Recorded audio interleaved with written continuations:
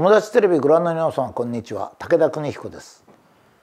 えー、だいぶ長く続けてまいりまして、えー、皆さんの中にあそうか日本っていうのはそうだったのか。いやまあ日本を理解するというのは日本人でありながら非常に大変なのは世界でこのような文化を持ってる。もちろん温帯の島国は日本だけなんですが、えー、実はそのシラス文化っていうのを持ってるのも日本だけ。その他にですね全て日本だけが多いんですよね。したがって、えー、非常にこう戸惑うわけですね神様一番上の神様にしてもジュピターにしてもアポロにしてもですねみんな男なんですが日本だけは天照大神まあ神様ですから男女はっきりしませんがいずれにしても女性を上位に置いた文化っていうのも珍しいわけですね。それにあの明治以来非常に多くのヨーロッパ文化が入ってきて、えー、最近ではですねあの頭がいいと言われる東大の教授なんかほどアホでですねなんつってるかったら例えばあの、えー、人口論を書いたイギリスのマルサスよりか先に、えー、人人口論を書いたあ新新王朝時代の中国の人をですねその人が先に書いてるのに本を、えー、中国のマルサスなんつってるんですよ。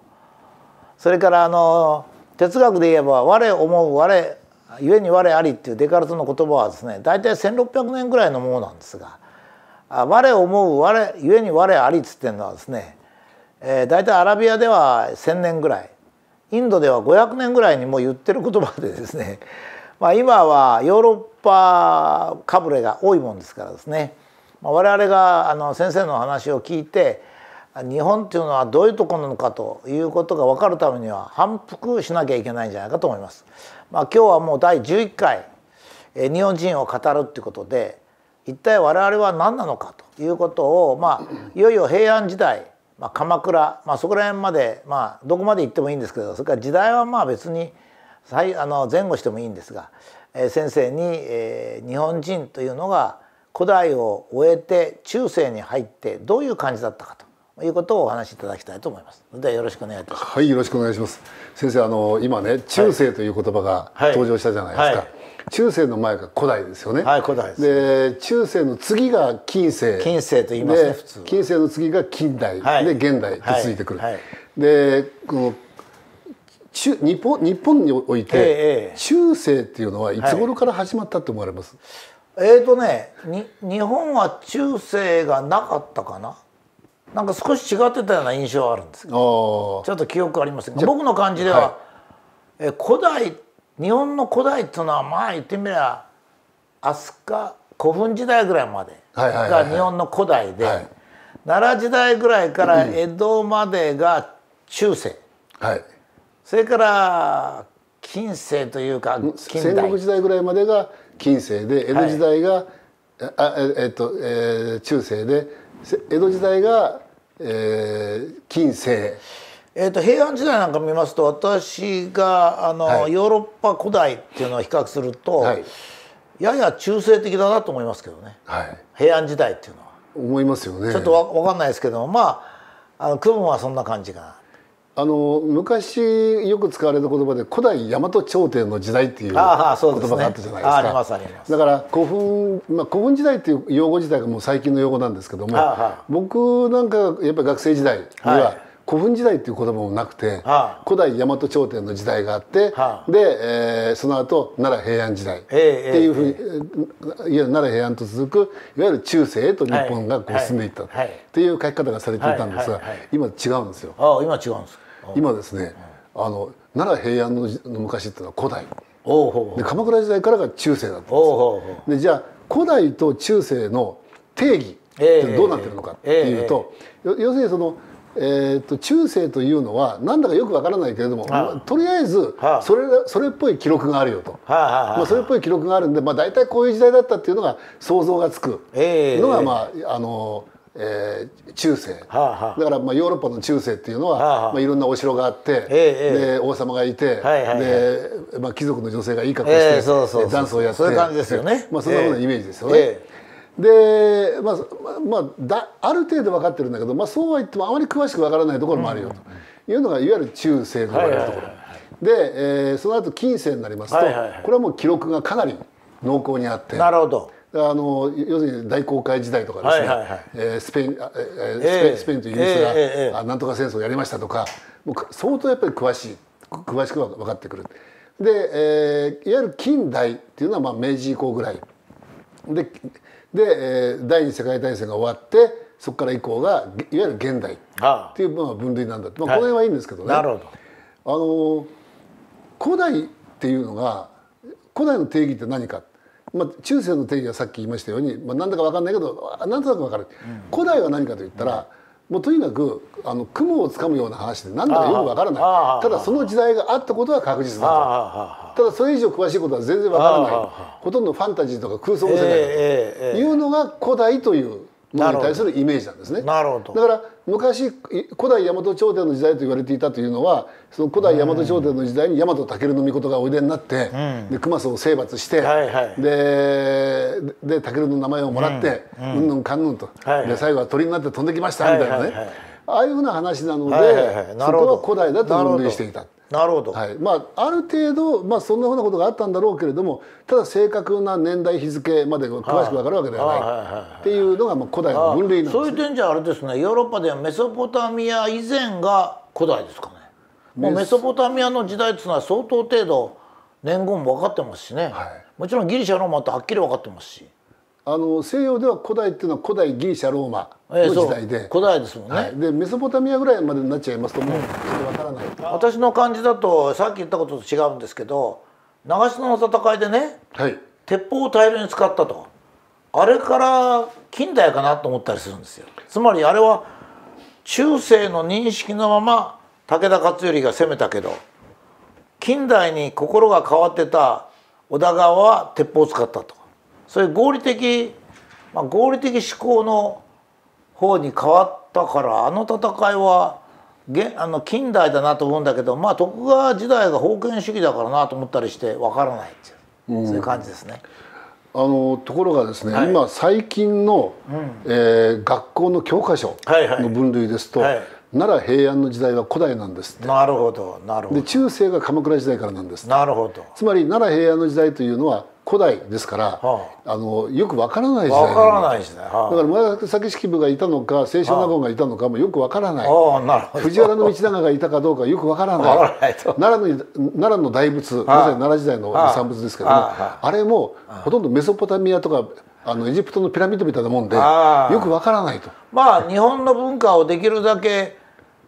歴史を悪いようにするっていうのが今の日本の歴史学者の基本概念ですからね。そうですね。あの、これは近隣諸国条項で、中国韓国の歴史に配慮しなければいけないと。だから中国韓国よりか早いことはやっちゃいけないやっちゃいけない。なんていうことだと。もうひどい話ですよね。そう。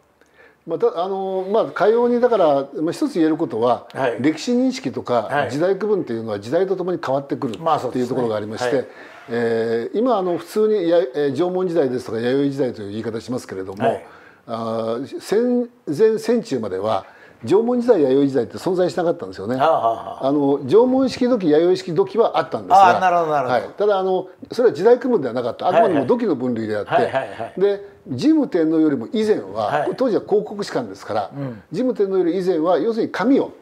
であって、はいはい、で神尾の時代の遺跡、はいはい、つまり縄文時代の今でいう遺跡ですよね、はいはい、なんか発見されても、えー、あのそのことについていろいろ語ろうとすると。神と人間の関係になっちゃうから嫌だと。そうです そういうことは言うもんではない。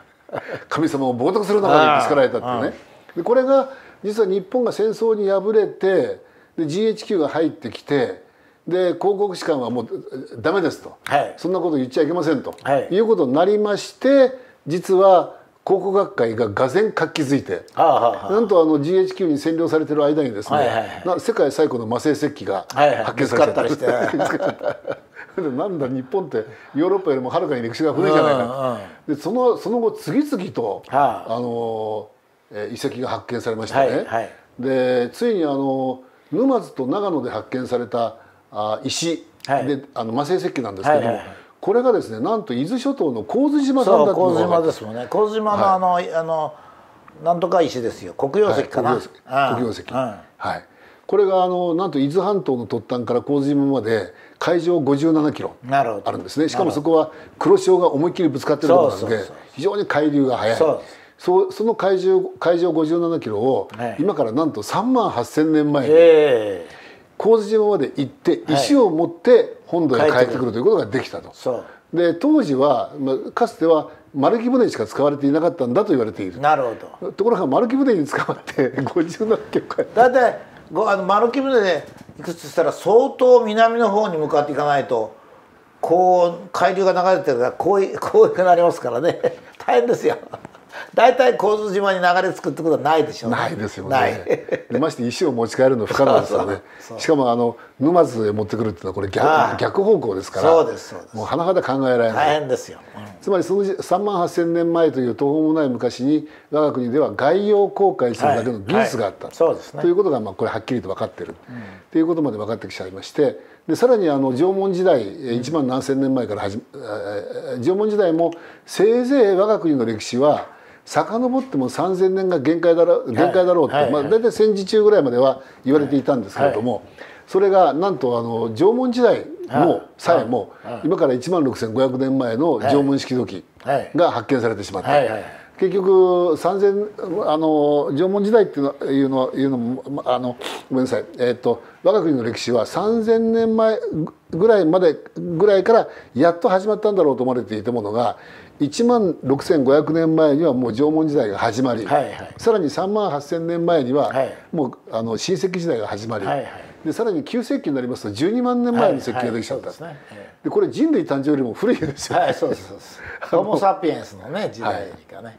で結局分かったことはあの我々現世人類というのはクロマニヨン人の子孫であると、はい、ホモ・サピエンスの子孫なんだというふうに言われていたのは、はい、あのホモ・サピエンスとかクロマニヨン人というのはあくまでも白人種の祖先のことであって、クロマニヨンなんてまさに白人の顔してますよ、はい。ええ、我々日本あの日本人とは何の関係もない,、関係もない。我々我々実はもっと古い人種だったっていうことが分かってしまった、はい。はい、ということ、でさらにこれに加えてですね縄文時代なんですけれども縄文時代1万4,000年続くんですよね。はい。はい、でこの縄文時代の遺跡って全国に数万箇所あって、はい。はい、で例えば近所に貝塚っていう名前が付いてると、えー、その貝塚っていうのは間違いなく縄文時代の遺跡なんですね。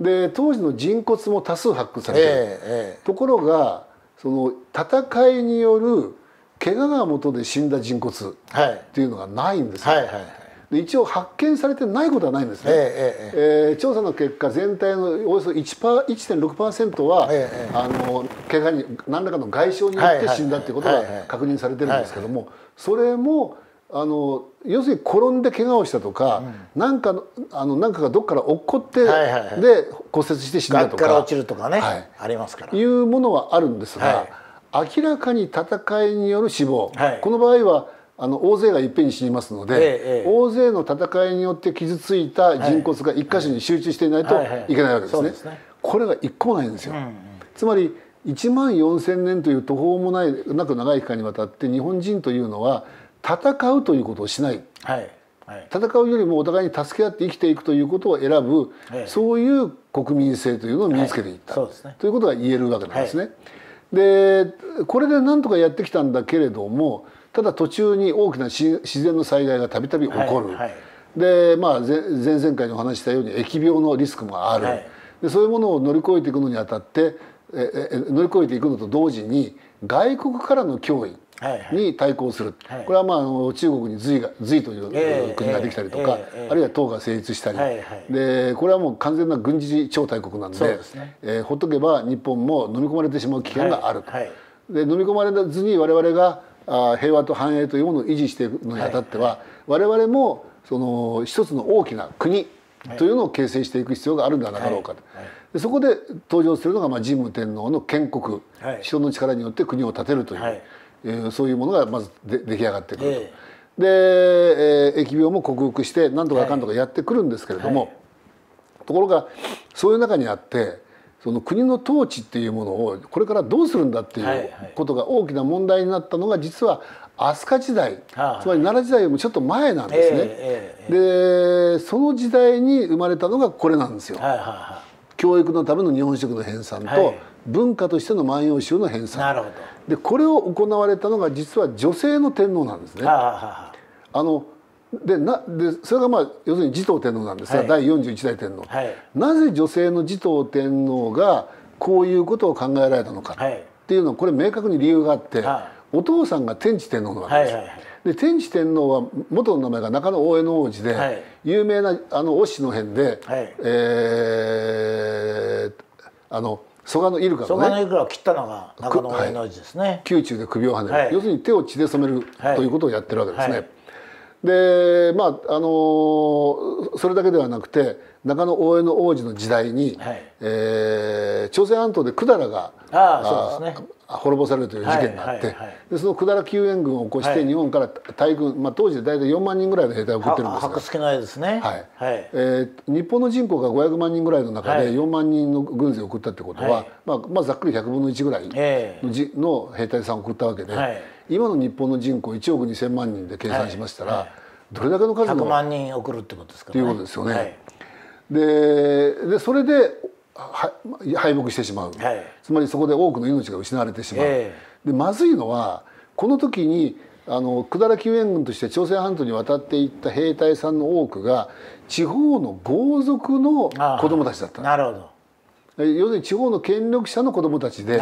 その子供たちその、えー、地方の豪族の親父さんがいて、うん、で、まあ、長男坊は跡取りなんですけども、はいはいはい、次男坊か三男坊が行く、うん。はい、この時に一人で行かせるのは心配ですから、はい、当然小物たちをつけていく。はいはいはい、で、えー、その、えー、三男坊を筆頭に村から集めた10人ぐらいの、はい、えー、集団が一緒について戦に参加すると、はい、でこれが全国から集まってくることによって、えー、えー、まあ、4万の軍団を作ったわけですけれども、はい、まあ、それが敗れてしまう、えー、で、えー、命を失ってしまう、はい、多くの豪族たちが、うちのせがれ帰ってこねえんだよと、えー、いう話になってくる。日本という国が神武天皇以来お互いに助け合うと天皇を中心にお互いに助け合うことによって国を成していく、はい、このことはよくわかる、はい、それから外国の脅威に対して日本が一つにまとまらないといけないということもよくわかる、えー、だけどな俺のせがれ死んじまったんだよ、えー、返してくれよ、えー、でこれを言われてしまうと、どうにもならんわけですよね。であの中野上の王子が天智天皇として即位される、はい、本当に前世を引いて、えー、で素晴らしい政治を行うんですけれども、はい、でもやっぱりそうは言ってもなっていうのが残ってしまう。ででこの状態をいつまでも続けるのは具合が悪いということで、いや悪いけどあの朝廷には従うけども天智天皇には従うことできねえんだよと言ってるような人たちをまとめ上げて、はい。はいはい、でじゃあ天智天皇倒そうよってやったのが弟の大天皇子なんですね。はいはいはい、ででこれがじあの人心の乱を起こして、はい、で、えー、政権を奪う、はい、で、えー、なその大天皇子が天武天皇として即位をされる、はい、これが第40えー、っとえー、っと第ええー、っと第39代だったか40代だったかな、はい、まあ、天皇になられるわけですね。この天武天皇の奥さんになられたのが持統天皇。で持統天皇は天智天皇の娘なんですね、えー、だからお兄ちゃんの娘が弟の嫁になってるっていう、はいはい、まあ、そういう関係なんですけれども、はいはい、このじこの持統天皇の立場からすると、うん、お父さんお父さんは結局あの忍の辺でまあ蘇我のイルカの首をはねた、はい、やっぱり血で手を怪我してしまった、はいはい、その結でさらに白月の戦いで多くのえー、同胞の命を失わせることをやってしまった、はい、結果として、えー、多くの多くの豪族たちの恨みを買う、はい、ということになってしまった、はい、それがじ実の父親ですよね。でじゃあパパはどうなのか、うちの旦那どうなのかっていうと旦那はそのその天智天皇のを倒すために、まあまあ、天智天皇はお酒がお亡くなりになっちゃうんでそのせがれを倒すためになるんだなるわけですけれどもそれを倒すためにまた兵を挙げてで戦いをして政権を奪った。やっぱり手を血で汚してしまった、うんうん、こんなことがいつまでもいついつまで続くんだろうかっていうことなんですね。で旦那の天武天皇がお亡くなりになってで奥さんであります持統天皇が皇位を継ぐことになった。もともとの名前が宇野の皿の姫巫女と言ったんですけどもこの宇野の皿の姫巫女が天皇に即位をして宇野の皿のスメラ巫女とつまりじ、えー、後の持統天皇になられるわけですね。で天皇となられてさあこれからの時代をどうしたらいいのか、うん、どうすればまとめることができるのか、うん、この上自分の代でもやっぱり皇族同士で殺し合いをする、はい、あるいは中央貴族同士で殺し合いをする、はい、そういう世の中を続けるんだろうか。もともと我が国はずっと平和な社会を築いてきた、はい、そういう実績がある、そういうそういう国柄を守るために、うん、えー、五皇室の存在もある。でということは持統天皇のお立場で行うべきことはこれまで何代か続いたその血で血を洗うような争いを二度と起こらない国にしていくこと。これが持統天皇にとっては最大の使命になってくるわけですよね。はいはいはい、でそこで組まれたのがこれとこれだってわけです、うんうん、教育と文化、はい、世界中どこの国でもほとんどの国は武力を持って国を統一しようとする、はい、反対派がいたら反対派を皆殺しにすることによって国を作る、えーはい、でもそれをやれば恨みが残る、はい、悲しみが残る、えー、ででまたいつの日か、はい、その滅ぼしたはずの連中が力を持ってくると、えー、これがひっくり返される、この繰り返しじゃないか、これを未来永劫完全にやめさせるためには何が必要なのか、そういうことをするしてはいけないよということを教育によって明らかにしよう、はいはい、何を教えるのか、歴史を教えようじゃないか、はいはいはい我が国の神王の昔から面々と続いている歴史の中で我自分たちの先輩たちがどうかどのように考えて日本という国を作ってきたのか。例えば建国の父である神武天皇というのはお互いに助け合うということを大前提として国を築こう国を築こうとしたんじゃないか。そして第10代の崇神天皇はあの疫病を克服してそして神様と一体の国柄というものを築こうとしたんじゃないか。そういうことを全国の豪族たちの子どもたちも小さいうちから全員が教わる、はいはい、そういう教育によって、うん、みんなが日本人だと。ただ王様が変わることによってあの力で支配されるんではなくてみんな一人一人の日本人がみんな俺たち日本人なんだという自覚を持つことができるそういう国柄っていうのはどうやったら作れるかといったら教育しかないよと、はいはい、その教育の根幹にあるのは歴史だよと、うん、でそのために日本主義の編纂っていうものをこれに一生懸命になってこれをやられていく、うん、もう一つは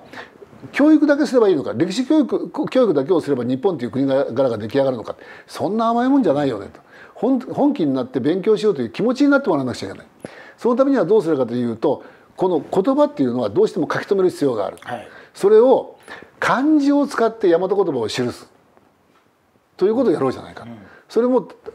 この漢字を使って大和言葉を記すのは日本書紀でやってるけれども、はい、もう一つ歌を、はいはい、これはあの日本書紀はまあ事実をこう記録する記録する歴史ですけれどもこちらではもっと感情的なもの、はいはい、情感を、えー、大和言葉をあえて漢字を使うことによってこれを書き表す。はいはい。大和の国というのを、はい、あの大きな和の国と書いて大和の国という,、い。うのも一つの表現だし、山の後の国と書いて大和の国だと、山がたくさんある国だと。いうふうに書いてもやっぱり大和の国、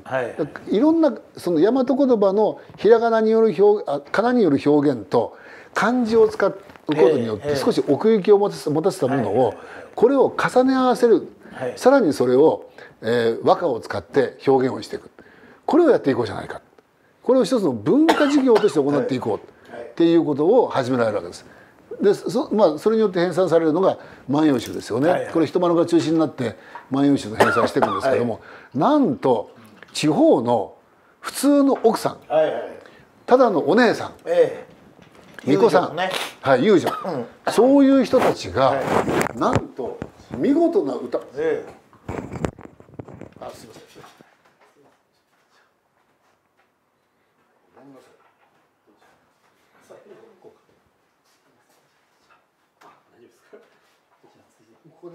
どうか引っ張ってんじゃないの？そうです。あ足で軽く短いんだけどいやいや。ちょうどよかった。ちょうど。よかった持ってますね。抜群ですな、はい、ここを避けるってすごいですよ。今ちょっと放送が鳴ってますからね。防災無線が。ちょうど。じゃあ5時いつもなんなかったっけ？いつも5時もいっぱいやってたもんね。終わってましたからね。そう。5時はそうですね本当の話の時ちょっとこの防災が終わってからどっからスタートするかなあの。遊女までっていう話しましたねえっ、とえー、と先生がちょっと前がいいちょっと前先生が遊女っておっしゃったところからしましょうか。もうちょっと前がいいですね、はい、じゃあ今これが終わってから。地方のからいきますか？地方の人から。万葉集の著者から言った方がいいよ。地方のじゃあこれどうせまだちょっと終わらない時間かかる。あじゃああの人丸のあたりからいきましょうか。あそうですね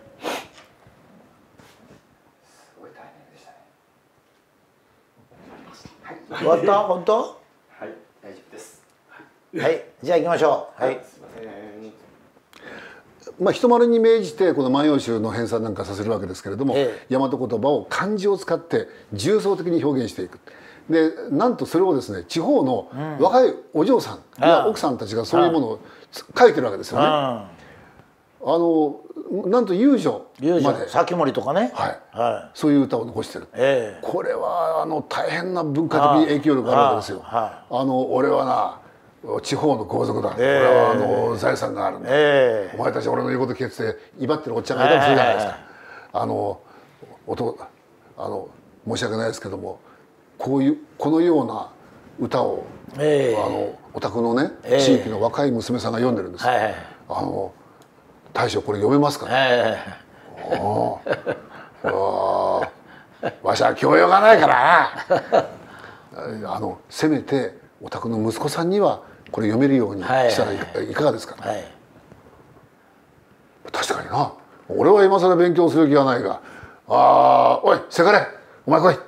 お前今日から勉強しろ」っていう話になってくるわけですよね。はい、つまり、まあ、日本独特ですよ。つまりその国民ほとんど全部が歌を歌えるなんてなほとんどありませんからね、はい。ええ、そういうその文化っていうもの日本の文化っていうものを、これ漢詩でもない、はいはい、えー、もちろんインドの歌でもない、はいはい、で普通の要するに大和文化だと言いながら昔ながらの歌でもない。それを朝廷を中心に漢字と組み合わせることによってさらに深い文化っていうものをつく築いていく。そしてまた教育という面においては歴史っていうものを日本書紀を通じて明確に打ち立てる、はいはい、これも日本書紀もあの印象印象とかイメージではなんか日本書紀って聞いた瞬間にもうずもう最初から最後まで神話ばっかり書いてあるって思われる方多いんですけどもあのもう最初のあの一巻一巻だけなんですよね。いわゆる神話と言われるところは。はいえー、もう2巻もう2巻になりますとそこからはもう神武天皇に入っちゃいますから、はいはい、あとは歴代天皇の記録を、うんうん、あのえー、お一人の天皇につき一冊という形でずっと展開してますので、はい。はい、えー、まあ、そういう意味ではあのいわゆる空想科学小説ではなくて、はいはい、基本的にまあ事実に即した形でちゃんと書いている、はいはい。まあ、そういう日本書紀を編纂するということをやりましてこれによって日本新たな日本の体制っていうものを築いていく。でここれだけのことがなんとあの女性の天皇の下で開始された、はいはい、日本の形を築いたのは男でなくて女性だったっていうね、はいはいはい、これすごいことだと思うんですよね。はいはいはい、大体あの歴史を振り返りますとあの男性の時代男性の,、まああのえーまあ、古い時代の天皇っていうのは政治権力を持ってましたからそのその時代の天皇ってのはまあ大体争いばっかりやってるんですよ、ね、男っていうのはね。はいはいところが女性の天皇の時代に我が国はもう毎回そうなんですけども非常にこう文化性が高くなる。はいはい。例えばその聖徳太子が出て十七条憲法を公布されたりとかってした時代っていうのは、天皇は推古天皇ですよね。推古天皇女性の天皇ですよね。でこの、まあ、日本書紀とか万葉集をこう強硬に推進されていったのが持統天皇、はい、これはやっぱり女性の天皇、はい、その後あの古事記が提出されたのが元正天皇の時代だと言われてる。で万葉、えっと、日本書紀が完成したのは、はい、これが元、えー元えー、っと元正天皇か、はあ、えー、古事記が元明天皇、はあ、で、えー、日本書紀が元正天皇の時代で、はい、これまたあの女性の天皇なんですね。はい、まあ、とりわけ元明天皇っていうのは我が国の歴史上最も美しい女性であったというふうに言われてるぐらい、まあ、本当に本当にお綺麗だったそうなんですけども、まあ、そういうとにかくその女性の天皇の時代に日本っていうのは非常に大きな変化それもどちらかというと平和な方向にこう舵が開いてるっていうのはある意味一つの特徴なのかなと。そういう中にあって例えば「発末伝え」なんかでは天照大神様は天照神でこれはもともと男性神なんだという書き方をしている。あの天照大神様が男性だったのか女性だったのか僕はタイムマシン、えー、持ってるわけじゃないんで 行って見てくることはできません。はいはい、ただ古事記や日本書紀が天照大神様を女性神として描いているというのはそういう意味ではやっぱり女性の母性もあるいは優しさコミュニケーション能力そういうものが平和な国家っていうものを建設していく上において非常に重要な要素となるんだということをすでにこのこの古代の時代において我が国は明確に自覚をしていたということが言えるんじゃないかなというふうに思うんですよね。それで具体的にはこのこれがまあ持統ですから持統天皇が終わった後、はい、平安時代とかそういうとこにまあ花開いていくってことですね。そうですね、うん。あのまあ、持統天皇の時代というといわゆる飛鳥時代になるわけでして、はいでその後奈良時代に入り、で平安時代に入っていく。でこの中にあって我が国はまさにその中世日本文学と言われるもの、はい、えー、えー、特にその世界の中でももう本当に世界には存在しないような女性のえー、作作家さんによる、ね。えー、小説が書かれたりとか、えーえー、あるいはあのー、まあ日記文学のようなものが書かれたりとか、はいはいはい、あるいは歴史物語なんていうのもやっぱり女性の手によって描かれていくようになる。えこれはあのヨーロッパでもあの 1000, 1000年前に女性が文字を書きかつそういう小説なんかを残してるなんてこれヨーロッパにありませんのであのある意味日本では本当にすごいものを築いていた、ねはい、しかもあの奈良時代から平安平安時代の終わりにかけておよそ500年、はい、あの天智天皇の時代からね、はい、えー、およそ500年の時代の中で人が人を殺すということがほとんど行われなかった、はい、そうですね、はい。ええまさに平和そのものの人心の乱から壇ノ浦までっていう感じですよね。そうですね。はい、はまあまあ、少し前に保元の乱とか保元の乱あります、ね、その辺りから、えー、崩れてくるんですけど、はい、それまでは全く平和な文化を築いてるわけですよね。でしかもその時代に築いたあの、まあ、自社仏閣の建築物といったようなものが一つも燃やされずに今でも残ってる、法隆寺から東大寺からね 残ってると。残ってる、うん、そして現代においてはあのビルと同居してる、はい。はい、こういうことが現実に起こっているのが日本という国であるっていう、うん、このことはやっぱり我々非常にありがたいことでありすごいこと。非常に素晴らしいことであるということを改めて自覚する必要があると思うんですよね。で特にその教育と文化っていうものをね、うん、これをこの国の柱として非常に重きを置いていた。大切にしていた、はい。はい、現代日本どうなんでしょうね。教育はまあなるほどあの学校の教科書はありますけれども、はい、現代における教育っていうのはただ覚えさせるだけ、えー、そうですね、それは本当に教育と言えるのか、あのもっとその日本人としての精神性を育むようなもの、えー、これそこにやっぱり教育の本質があるんじゃないかな、はい、で我が国の歴史っていうのはあの他の国と違って調べれば調べるほど、はい、いや先輩たちってすごかったんだなと。すげえなっていうふうに思える歴史なんですよね。はい。えー、あの調べれば調べるほどえこんなひどいことしてたの、はい、うわこんなこともやってたの、えー、うわこうもう冗談じゃないよと、えー、もうもうだからこういう歴史は全部忘れて、はいはいファンタジーにしようっていう、えー、それしか歴史を振り返ることができないという国も世界にはあるわけですよね。もちろんほとんど山ほどそうですね。まあだけどそれはその明治維新以来、えー、日本がやっぱり野蛮人や僕が言ってる野蛮人というのはヨーロッパ文化なんですけど、はい、ヨーロッパの野蛮人まあ中国とかヨーロッパの野蛮文化というものを日本が取り入れた。その時に野蛮であるという意識が少し欠けてたわけですね。そうですねでその後いろいろきちっと読んで、えー、その先ほど前回にちょっと商法のことをお話しましたがどういうのが野蛮であって、まあ、つまりもちろん戦争が多い方が野蛮であることは明らかだし、えー、力で解決することは野蛮であることも間違いない。力が強いからって男が女をレイプするのも野蛮である。こういった意識が現在の文化人も教養のある人と言われる人もないということは、まあ、現代の日本の非常に大きな病床であってですねそれがやっぱり教育にも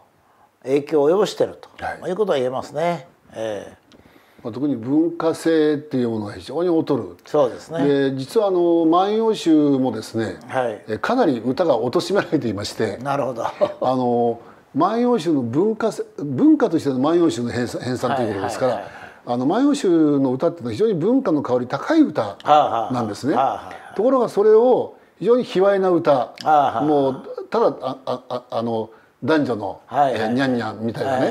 はい、そういうふうなものとしてしか読もうとしない。はい、でちょっと考えたらそうじゃないってことぐらいすぐ分かるだろうと、はいはい、い。うことがあのもう全然全く変な解釈で貶められてしまってる。うんね、まあだけど現代はそのヨーロッパの野蛮文化を受けてるから、えー、とにかく、まあ、中国もそうですけど、えー、日本をとにかく貶しめる人がもてはやされる時代ですからね。ですね。まああんまりそういうことをお考えになると血圧が上がって先生よくないと思います。僕なんかもうそれはしょうがないと思ってるんです。あところで質問があるわけですよ。はい、万葉集は漢字で書いたのに、はい、その後ひらがなの文化ひらがなの文学っていうのが、まあ、女性がね継承して、はい、多くの名作を平安時代に生んだわけですが、はい、これはひらがなで大和言葉をそのまま書くのはいつ頃からですかね？どういうきっかけですかね？金文字はあの速記から生まれますよね。速記からね、はい、あの男の方は記録文書を相変わらず漢字で書いてるわけですけど、はい、女の方は早く我々と早くひらがなでまあ最初に日記なんか書いたんでしょうね。それからまあいろいろ和歌とかそういうのを遊んで貝に書いたりなんかしたのはひらがなですかねあれは。そうですね。あの、はあ、情感を伝えるっていうのを、えー、男たちは漢字を使って漢字の文字をきちんと、えー、今でいう印刷文字のように、はいね、きちんと並べて書くことが大事なんだと。はい、論理ですからね、はい、男の方はね。なんですよね。えー、で漢字の文字一つ一つに意味があるわけだから、例えば「心」と書いてビシッと刻めば、これ必ずということになるんだというそういうことの一つの一つの漢字の意味を捉えて、で同じ大きさできちんきちんきちんきちんとやっていけば、ちゃんと意味が通じるだろう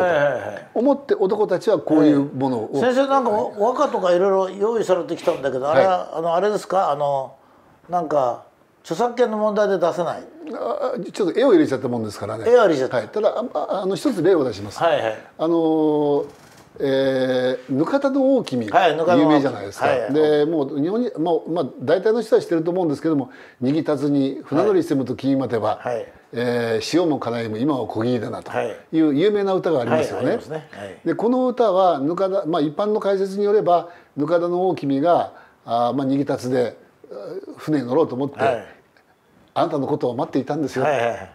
えー、そしたらあの月もちょうどいい具合に出てきたんで、はいはい、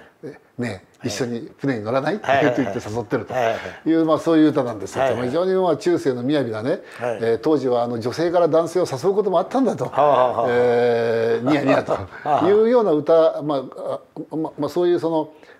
ちょっと奔放な、はい。えーまあ、ぬかだの大君という美しい女性がいたんですよっていうふうな、まあ、イメージで語られる語られることが割と多いようなんですね。はいはい、ところが「万葉集」をね原文でちゃんと読んでみると、はい、あのこの歌のすぐ後にね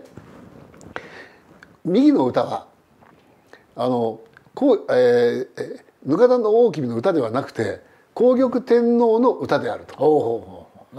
いうふうに書いてあるわけです。はあはあ、で、えーえー、その、えーま、要するにある温泉にやってきた時に、はいはい、えー、かつて旦那の除名天皇、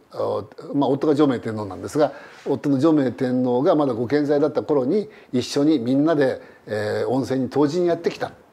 でその時は本当にみんなで大騒ぎしてもう本当に平平和な世の中世の中であってみんなでどんちゃん騒ぎしてお酒飲んで本当に楽しかったでも今あ白スキルの戦いにね、出発する兵隊さんたちを、この同じ巣で送らなければいけない、悲しいことだと。戦いに行くということは命を失う、はい、ここの今出ていく者たちの中で何一体果たして何名の者が帰ってこれるんだろうか、まあ、そう言ってあの、えー、皇玉天皇が大変にお嘆きになって読まれた歌がこの「握たずに船乗りせむと君までは月も叶えも今は小切なんだな」という歌であった。ただっていうふうに書いてあるわけです。で要するに皇玉天皇がその歌を読んだってことになると「ええ。ー、握たずに船乗りせむと君を待っている」ででちょちょちょうどよく月も出てきた。今こぎ出そう本当に大丈夫なのかな？っていう、はい、そういう思いがこう伝わっちゃうと、はい、やっぱり全軍の士気に影響が出ちゃうじゃないですか。はいはい、でそのことを歌を読まれた皇極天皇ご自身が分かっていて「ぬかた、うん、この歌とても良い出来だと思うんだけども、この歌お前が読んだことにしておくれ」って言ってでぬかたの君は「はいかしこまりました」では私のお名前で発表させていただきますわと。これ皇極天皇とぬかたの大君の非常にこう強い信頼関係の中でそういうやり取りが行われたんだってことがちゃんと書いてあるんです。それぬかたの大君の歌だってそもそも書いてないんですよ。なるほどそれを学校の今学校の教科書でもぬかたの大君の歌ですよと言って紹介をしている。その後の注釈のところを全く書こうとしない。はいはいはい。いわゆる演歌とは違うわけですよね。まあしかしそれは今の先生のお話はですねやっぱり歌も何も文化も文学も全てそうですけど読み手とかそういう方が心が貧弱になるとやっぱり読む内容は愚劣になってきますからね。そういうことですね。ええ、仕方ありません。これイタリアの学者さんが言ってるんですけれども、ええ、全ての歴史書、全ての本は、はいはい書物はその時代の気分で、ええ。えー、しか読まれない。そうですね。えー、まあこういう言葉エルドイチだったかな？なんかそんなような先生が書いてましたけども、その通りだと思いますね。だからあの戦後の一時期、非常にまあまあまあ、戦後の一時期というよりも明治以降と言った方がいいかも分かりませんが、はい、とにかく日本古来の文化というのはろくでもなくて、はい、何でもかんでも西洋のものが素晴らしいんだと、えー、大学生はバンカラだと。南蛮カラーだと、えーえ。ー 今まではもう書生といえばもう礼儀正しくして「はい、はいもう師匠の前で「はい」と言ってやらなくちゃいけなかったものが俺たちは南蛮カラーだからボロボロの格好して汚い格好して構わねえんだと。いったふうなものから始まってとにかく西洋のものが何でもかんでもありがたい。日本のものは遅れてるとい。うふうに決めつけてやってきたものがやっと150年という長い長い歳月を経由してここへ来て日本人が目覚めようとしていると。いうことで、はい、目覚めようとしてますしてると思いますよ。ああそうですか、はいまあ目覚めようとしてるのは非常にいいことなんですけどね。えっ、とまあちょっと時間も来ましたので一応平安時代の要するに今今日の話は非常に素晴らしくて